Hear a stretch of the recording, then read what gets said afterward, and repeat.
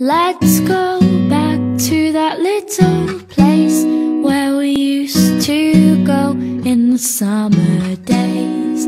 The lodge by the water's still my favorite place, and I could come every year and it wouldn't.